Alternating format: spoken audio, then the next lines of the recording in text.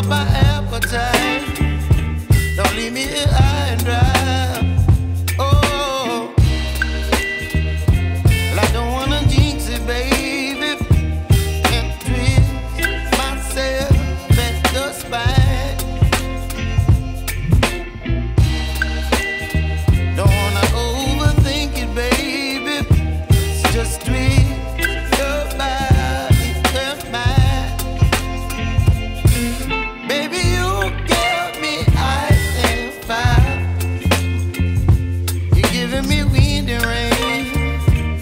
some kind of butterfly.